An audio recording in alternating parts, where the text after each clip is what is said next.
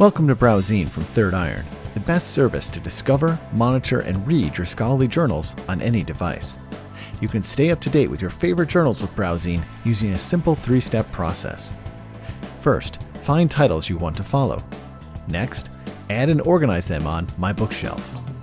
And third, check in with BrowZine on a regular basis to read and monitor your favorite scholarly journals.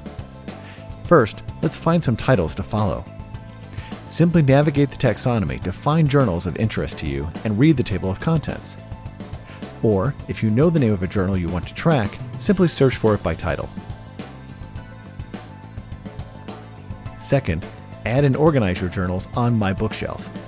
When you find a title you would like to track, click Add Title to My Bookshelf. I'm showing the web version of BrowZine available at browzine.com, but on iOS and Android devices, the interface is adjusted to the conventions of those operating systems, and you can find the same function here and here. After adding it and seeing a confirmation, visit My Bookshelf and you can move that title to place it anywhere you would like. On the web, you can move the title around the bookcase you are looking at, or to entirely new bookcases, just by clicking on them while in move mode for a title like this. On mobile, moving titles around takes advantage of dragging and dropping with your finger. Tap and hold to enter edit mode, then move the title around and release it at an appropriate spot. You can also drag to other rooms by dragging the title towards the edge of the screen like this. You can also customize the name of the rooms or the shelves themselves by simply clicking and typing in the name you would like to use.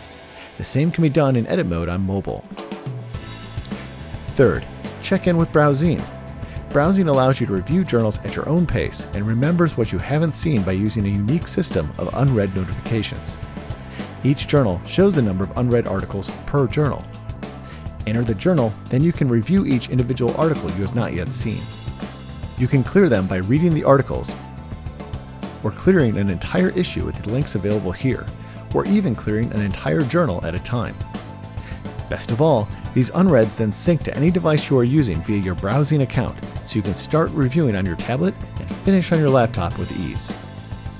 We hope you enjoy using BrowZine. We'll be in touch with more helpful tips to help you get the most out of BrowZine soon. If you have any questions in the meantime, you can visit our help pages at support.thirdiron.com.